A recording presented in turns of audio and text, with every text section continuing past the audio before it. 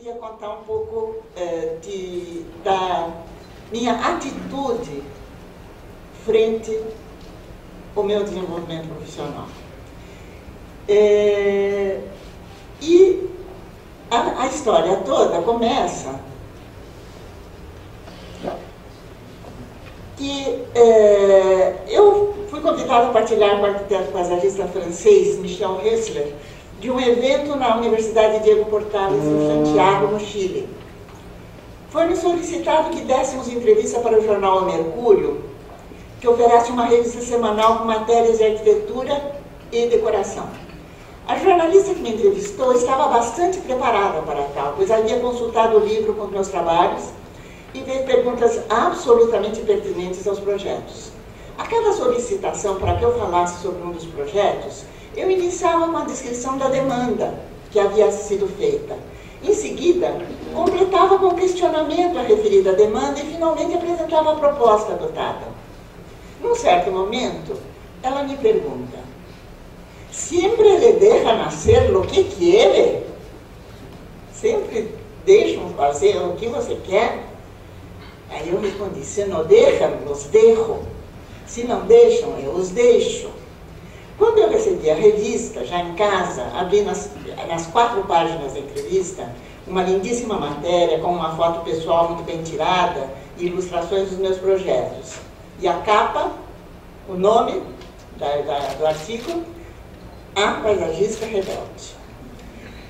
Foi então que eu me pus a pensar nesse tema e fui buscar na minha trajetória os momentos de questionamento, as demandas que me têm sido feitas e os enfrentamentos que eu me tenho proposto. Daí esse elenco de casos que começaram nos idos dos anos 60 e que passarei a relatar. Parque do Morumbi. Um contrato sui generis e um distrato inédito. Ao chegar à reunião, o prefeito me informa: agora eu tenho um projeto para oferecer, o Parque do Morumbi.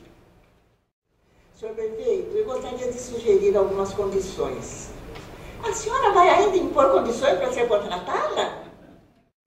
Foi assim celebrado um contrato sui generis com o Departamento de Urbanismo o contrato rezava que, além da elaboração do projeto, a contratada deveria entregar à prefeitura três mesas de desenho, três banquetas e três luminárias.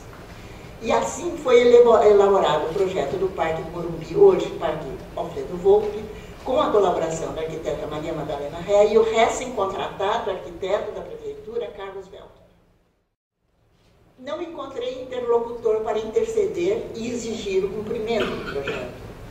Num certo momento, recebo o telefonema de um burocrata do Departamento de Urbanismo. Eu deveria entregar a última peça do projeto para que se pudesse proceder ao pagamento da última parcela e encerrar o contrato. A minha resposta foi: eu não vou entregar um desenho que não tem nenhuma utilidade, pois não vai servir a sua função.